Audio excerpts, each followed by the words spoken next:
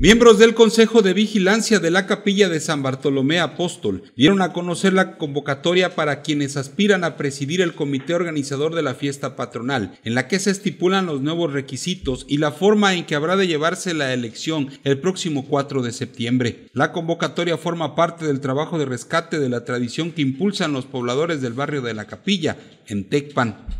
De acuerdo a Radesky Orbe Galeana, presidente del Consejo, el principal objetivo es que los organizadores se preocupen más por los aspectos de la tradición, como presentar las siete danzas tradicionales, la realización de la topa del toro, dotar de vestuario a los danzantes y la organización del desfile de carros alegóricos, así como mejoramientos para la capilla en ese barrio tradicional. Eh, ya se lanzó la convocatoria, en la cual la tengo aquí a la mano. Los nuevos requerimientos para las personas que quieren contender, en el cual, bueno, se tocaron varios puntos. Entre ellos, la gente no, se nos ha acercado a comentar si eh, la mayoría puede votar o el, eh, todo lo que es el, el pueblo.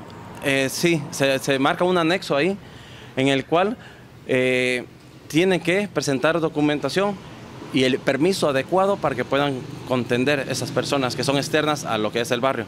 Barrio de la Capilla, es decir, que quien quiera participar y no pertenezca a este barrio, eh, puede, tiene que pedir un permiso especial al comité para poder participar. Así es, y, este, y lógicamente eh, traer su plan de trabajo. Eh, ahí marca la convocatoria el por qué va, quiere contender, el para qué y bueno, los resultados que va a favorecer a la a la capilla, ahora sí, y a las tradiciones del pueblo.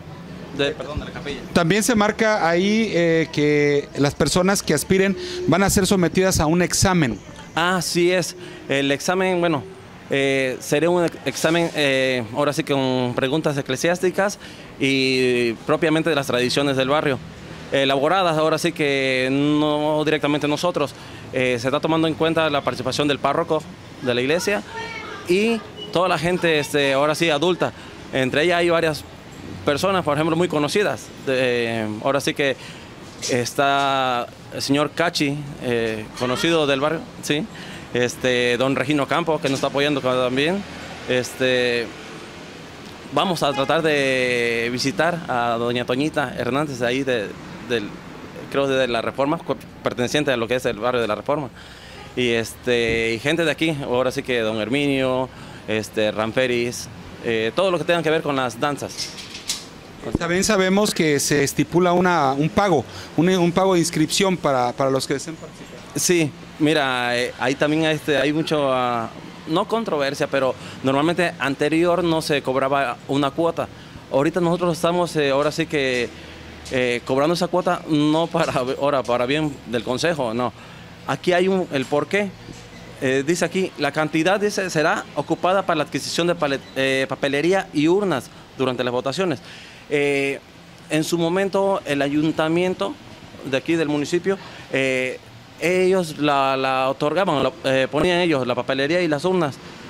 Y este, bueno, nosotros estamos tratando de, ahora sí, deslindar al ayuntamiento de ese gasto para absorberlo ahora sí que el comité, que en su momento a lo mejor este, sería favorecido ese apoyo para otras cositas, pero viable sería para nosotros que la gente que quiera contender, ellos mismos, este, ahora sí que caiga ahora sí el, dinero, ¿no? El, dinero para, para la misma papelería que ellos más mismos van a utilizar.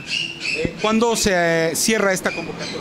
Eh, mira, el cierre sería el 31, que es miércoles. El mismo 31 se aplica el examen.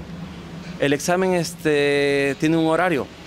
El examen empezaría a las 10 de la mañana a 5 de la tarde. Eh, durante esa hora eh, las personas pueden, ahora sí que los que quieren participar, llegar y lógicamente aplicar el examen, pero siempre y cuando cubran la cuota y entreguen su documento, ahora sí, así es, su plan de trabajo a tiempo, pues vaya.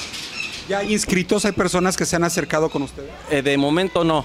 Eh, hay personas confirmadas eh, que se, nos han acercado y ahora sí que nos han dicho que sí pretenden contender, pero de momento están haciendo su, su plan de trabajo.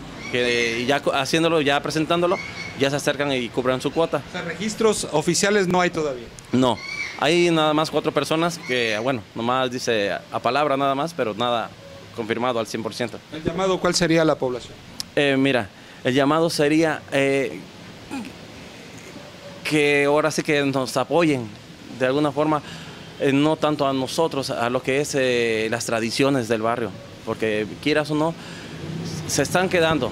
la gente, mm, nosotros a veces comentamos, de que la gente no se preocupa.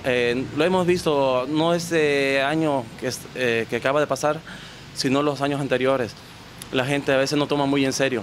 Estamos hablando de tradiciones y, de lo que es lo católico también.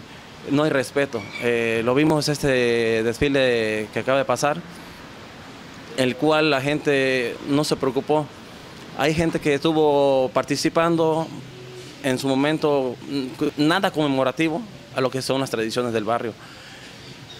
Parte fundamental de, que, de nosotros como consejo lo que queremos hacer es ahora sí que promover que el próximo presidente y a través de la gente del barrio, sería bonito que cada carro alegórico que en su momento entra a participar, eh, ha venido Nusco, eh, parte del municipio, eh, gente de Itlán, se le diera ahora sí que un, este, un, por ejemplo, referente a las danzas, si está la danza de los con, motivos de las con motivo de las danzas, si aparece los mapaches, la danza de los mapaches, eh, sería viable que algún carro alegórico vaya ad hoc con lo que son los mapaches. Que si vienen los panaderos, viene la danza de los panaderos, otro carro alegórico, algo a lo mejor si en su momento la reforma entra con su carro, alegórico, que ellos vayan ahora sí que a DOT también con lo que son los panaderos, tomar lo que son las danzas, tradiciones. Dentro de la convocatoria se estipula que el trabajo del organizador de la fiesta será vigilado por el Consejo y por el párroco de la ciudad, Emanuel Villalobos Luna, quienes tendrán la facultad de cuestionar a los responsables de la organización sobre las irregularidades que se detecten durante el año que durará su periodo de gestión. Informó para Canal 6 Rodolfo Valadez.